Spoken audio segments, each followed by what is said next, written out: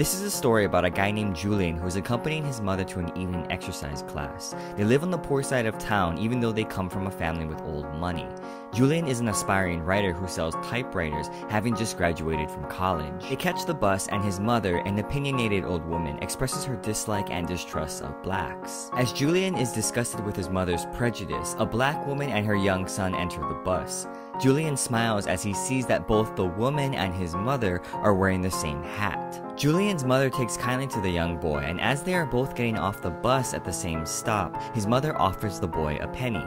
Insulted, the boy's mother gets upset and punches Julian's mother in the face. Embarrassed, his mother decides to skip the class and walk home.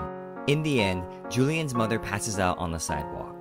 The idea of identity is a big part of this story. Both Julian and his mother claim to know their own identity. Julian, for the most part, sees and knows who he is. He's a college graduate trying to make it in the world. However, his mother is self delusional. The mother's identity is an identity from the past, and this allows her to see the world as someone from a different time. And it's in this time that she sees herself that she views the world as a rich woman from old money who owns servants and lives an entitled life. But her reality is quite different. She is neither wealthy or privileged. They live in a poor neighborhood and catch the bus. It's from the mother's self delusion that readers see her biggest flaw the idea or need to feel unique and special.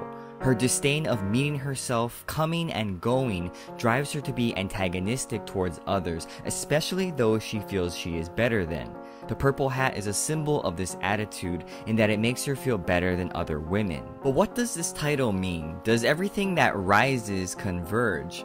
Ultimately, no matter how society categorizes or groups people, everyone is fundamentally the same, and it's this sameness that will create these opportunities for different groups to be on equal levels. So while this idea may infuriate some, it does give hope to those who are considered in low-level social groups. Again, returning to the idea that we are all just human beings.